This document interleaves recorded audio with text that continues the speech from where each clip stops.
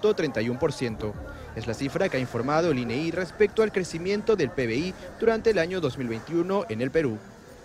Según el informe, los sectores de alojamiento y restaurantes tuvieron el más alto rendimiento con 43,33% en el año que pasó. En ese 13% con el que quieren cerrar el año, que es una cifra muy, pero muy preliminar, se omite que el sector servicios ha crecido mucho menos y el ruido político está haciendo que en los meses venideros sea previsible que casi todos los sectores converjan hacia un 1 o 2% de crecimiento que es una situación de estancamiento. Para el economista Carlos Adriansen, esta cifra no correspondería a un crecimiento, sino más bien a un efecto rebote debido a la apertura de algunos comercios.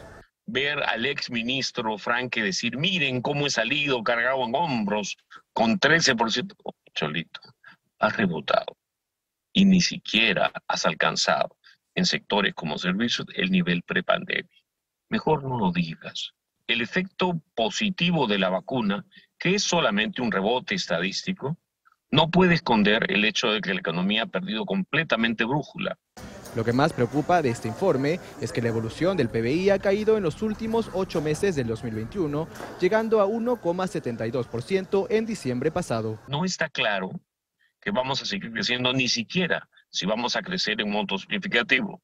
No son raras las proyecciones de 1 o 2% y las más optimistas 3%, en un país que hace pocos años crecía cerca del 10%. Para el especialista, con esta caída del aumento del PBI, no se puede hablar de un escenario positivo para el Perú en el sector económico. Todavía no hay razones por las cuales yo le pueda decir, mire señor periodista, el año 2022 es un año sólido, porque la inversión privada está creciendo por este proyecto, pero no, lo que tenemos es un déficit fiscal, niveles de deuda que ya son sumamente inquietantes. El Perú entra en una fase de declive, de atraso mundial y su crecimiento promedio por década va a ser negativo.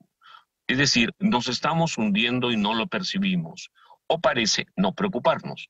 Debido a este escenario, Adrián Sen indica que el privado no quiere invertir, mientras que el sector público se encuentra altamente endeudado. El privado no tiene ganas de invertir en este momento está habiendo mucha incertidumbre. Va a tener grana cuando haya confianza, cuando haya liderazgo, no este desconcierto, estos escándalos de corrupción. En el sector público el problema es que nos han endeudado demasiado. La corrupción lo supera a todo nivel. No son solamente la gente de Junín. Es un programa masivo, transversal, en todo el sector público. Con todo esto, ¿cuál es el papel que debe tomar el gobierno central del presidente Castillo? El señor Graham debe defender el equilibrio fiscal, debe reducir drásticamente el ritmo de endeudamiento. Nos hemos venido endeudando en forma irresponsable con Alba, con Mendoza y con Franque.